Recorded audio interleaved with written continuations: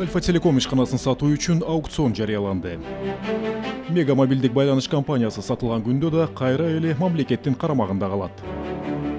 Жүз пайыз үлүшү мамлекетке таандык болгон ишкана он төрт миллиард алты жүз миллион сом баштапкы баа менен коюлду.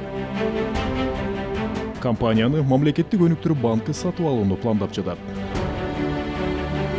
Президенттин басма сөз катчысы эрбол султанбаевдин айтымында альфа телеком ишканасы боюнча мамлекеттин пландары өзгөргөн жок компания мамлекеттин карамагында калып өлкөнүн экономикасынын өнүгүүсүнө өз салымын кошуусун уланта берет компании, которые являются ну, бюджетообразующими, бюджеттин толтурулушуна салымын кошкон компаниялардын мамлекеттин карамагында калганы да абдан туура. Себеби бул телекоммуникациялык ишкана андыктан улуттук коопсуздукту да ойлошубуз зарыл. Негизи альфа телекомду сатуу буга чейин да бир канча жолу көтөрүлүп бирок андан майнап чыкпай келген. Ошондо эле бул кандай гана тарапка сатылбасын мамлекеттин көзөмөлү сөзсүз болушу зарыл деп белгилегенбиз